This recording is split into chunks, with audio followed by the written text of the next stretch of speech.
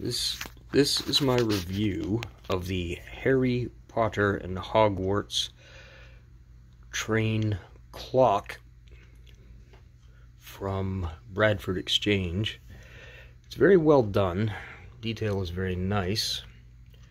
Looks good. There's a few things I would change, which is I think the train should be in the cave until it needs to come out when it chimes, and it would be really nice to have just a little glow at the tips of their wands when it goes off. This is a demonstration.